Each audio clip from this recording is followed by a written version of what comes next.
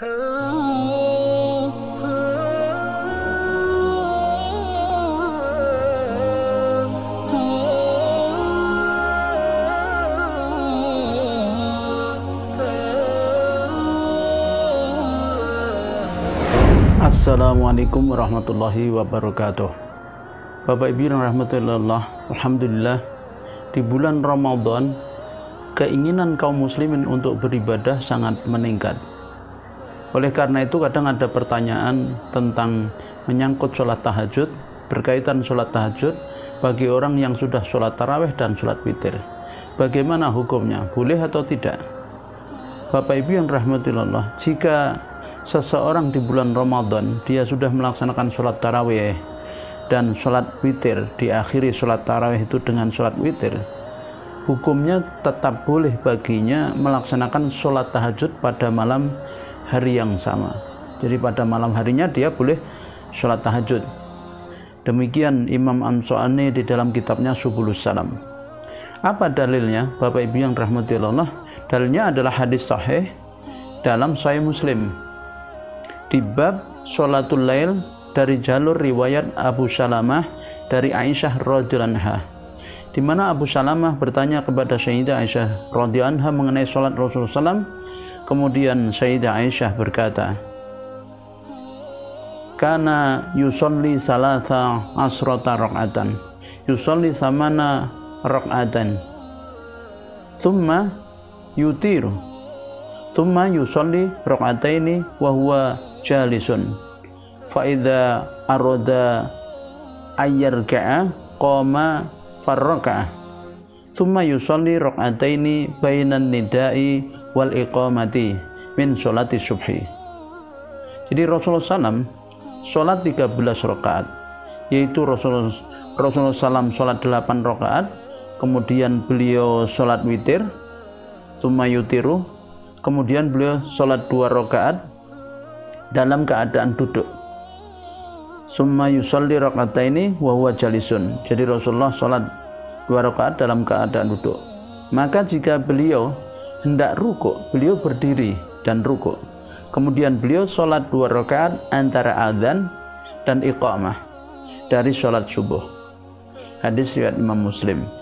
Nomor hadis 126 736 Bapak Ibu yang rahmati Allah Terkait hadis ini, Imam Nawawi memberikan syarah yaitu penjelasan hadis di atas dengan beliau mengatakan as-sawabu yang benar adalah anna hatainil raqataini fa'alahuma sallallahu salam ba'dal witri jalisan li bayani jawazi solati ba'dal witri wa bayani jawazi nafil jalisan. Jadi apa yang Rasulullah SAW lakukan? Yang benar sesungguhnya dua rokaat ini dilakukan oleh Rasulullah SAW setelah sholat witir dalam keadaan duduk. Untuk menjelaskan tentang apa? Bolehnya yaitu sunnah setelah witir. Jadi beliau katakan jawazin an-nafli ba'dal witir dan bolehnya sholat sunnah sambil duduk. Jadi Bapak Ibu yang, dirahmati Allah jadi sholat sunnah itu boleh sambil duduk ya. Ketika kita capek berdiri maka sambil duduk boleh. Demikian Imam Nawawi dalam syarahnya An-Nawawi ala Sahih Muslim. Nah Bapak Ibu yang rahmatillah berdasarkan hadis Sayyidah Aisyah ini dan Ummu Salamah tersebut maka boleh hukumnya melaksanakan sholat tahajud setelah sholat taraweh dan sholat witir. Nah inilah pendapat yang rojih ya dalam masalah ini. Nah kemudian Bapak Ibu, jika seseorang melakukan tahajud setelah witir tersebut, apakah dia boleh sholat witir lagi ataukah tidak? Nah, di sini para ulama juga berbeda pendapat, yaitu menjadi dua pendapat. Pendapat yang pertama bahwa orang tersebut tidak boleh membatalkan witirnya, yakni dia boleh sholat sunnah secara genap-genap hingga waktu subuh tanpa sholat witir lagi.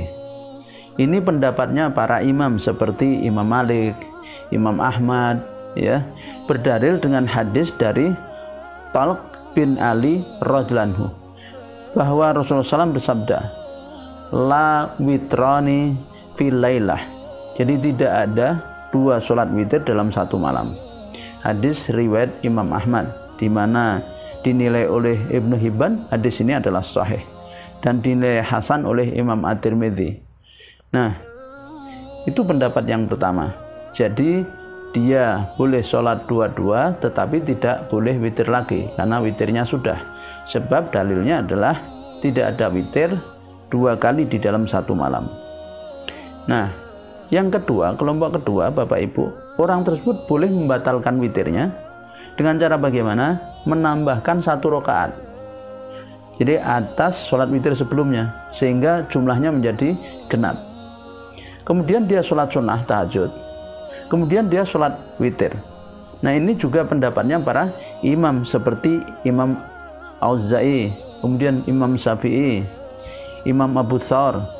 Dalilnya adalah hadis Ibnu Umar bahwa Nabi SAW bersabda, Ij'alu akhira solatikum billaili witran. Jadi ij'alu jadikanlah akhira solatikum billaili yaitu akhir dari solat malam kalian itu adalah solat witir. Ya, hadis riwayat al-jamaah kecuali Ibnu Majah. Ini ada di dalam kitabnya Imam Ausakani yaitu Nailul Autor. Nah, pendapat yang rojih dari dua pendapat tersebut, Bapak Ibu yang dirahmati Allah adalah ya pendapat yang kedua yakni yang membolehkan membatalkan witir ini pendapat yang rojih artinya kedua-duanya adalah boleh hanya yang kuat adalah pendapat yang kedua. Alasannya apa? Pendapat yang pertama, Bapak Ibu, itu hanya mengamalkan satu hadis, yaitu hadis Tak bin Ali yang melarang dua witir dalam satu malam. Dengan cara tidak membatalkan witir, sebelumnya kemudian sholat tahajud tanpa ditutup witir. Jadi hadis Ibnu Umar bahwa witir sebagai penutup sholat malam tidak diamalkan. Jadi hanya satu hadis yang diamalkan.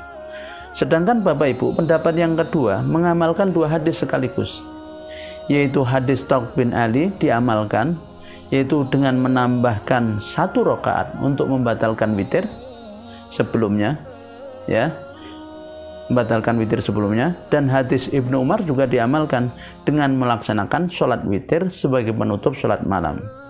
Nah, jadi Bapak Ibu, apabila bapak-bapak dan ibu-ibu saudara-saudara kaum muslim yang dirahmati Allah ingin sholat malam lagi di bulan Ramadan ini maka ya yang paling kuat adalah batalkan witirnya dulu. Dengan cara sholat satu rakaat maka sehingga genap.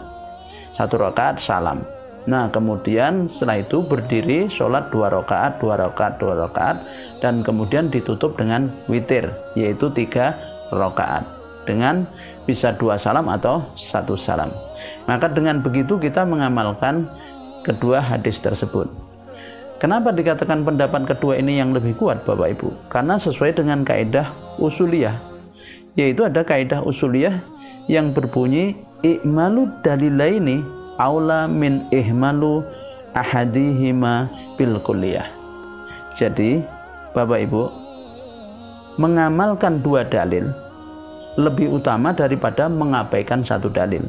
Demikian Al-Alamah Asyah Taqiyuddin Anabani di dalam kitabnya Saksiyah Islamiyah juz pertama halaman 240.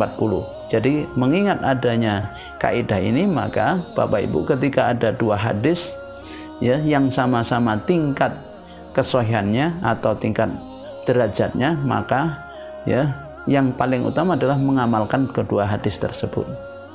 Oleh karena itu, Bapak Ibu, bagi panjenengan semua yang ingin sholat tahajud lagi, maka padahal sudah witir, maka tutuplah witir itu dengan satu rakaat, artinya genapkan sehingga dua. Setelah itu berdiri sholat tahajud dua rakaat, dua rakaat, dua rakaat, lalu ditutup dengan witir. Bisa tiga rakaat dengan satu kali salam atau tiga rakaat dua kali salam. Dua rakaat kemudian satu rakaat. Ini mudah-mudahan menjadi semakin memantapkan kita di dalam beribadah terutama di bulan Ramadan ini. Akhirul kalam wassalamualaikum warahmatullahi wabarakatuh